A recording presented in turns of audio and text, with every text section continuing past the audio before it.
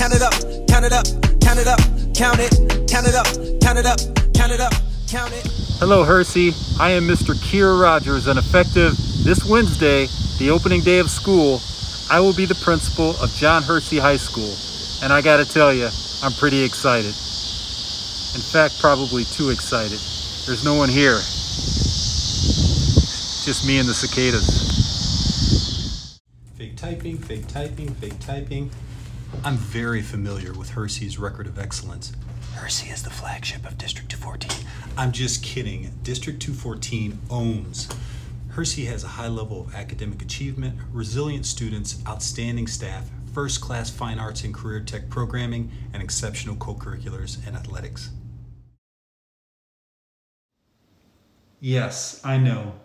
Mandated mask again. But we are not defined by a face covering. Don't let a mask derail your school year. If we can do these three things adapt, keep each other safe, and just do our best, we will make it an excellent school year. Another way that we can be successful is to focus on our social emotional growth. There are five specific areas. Please pay attention. Self management. An example of self management setting an alarm, getting up, and getting to school on time.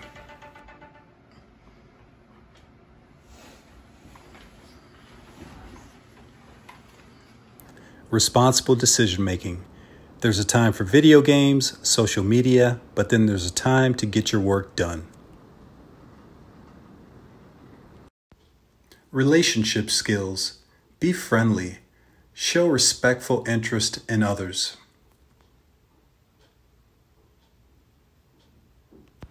Social awareness. Your actions and words influence others.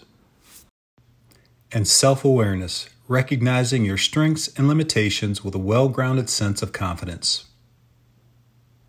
I have confidence in you, Hersey. Let's work, learn, and grow together. Right, Libby? Where's she going? Finally, I would like to give a huge shout out to Principal Gordon Sisson. Mr. Sisson has been in education for 44 years. Gordy, we admire your dedication and service to the Hersey community. We're wishing you and your family nothing but the best. Count it up, count it up, count it up, count it, count it up, count it up, count it up, count it, count it up, count it up, count it up.